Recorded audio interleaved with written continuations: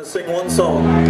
One song that we think actually is, if it's sung in the right way, is actually kind of poetic. Now this is a, this isn't really a speech. This is a response that uh, Donald Rumsfeld gave to a question about the war Yeah, the war, yeah. Right, and it's a famous, sort of a famous sort of saying that he had about. Uh, Because it's so ridiculous. What he says actually says nothing. Right.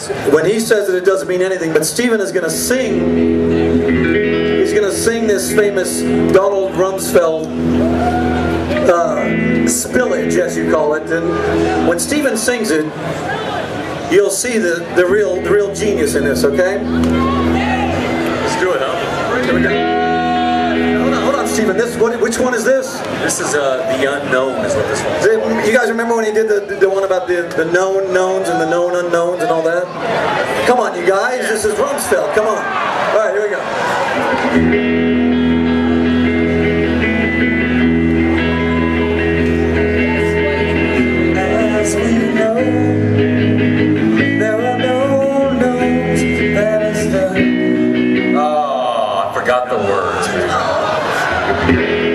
We know, there are no unknowns. There are things we know. We know things that we know that we know. All right. We also know there are no unknowns.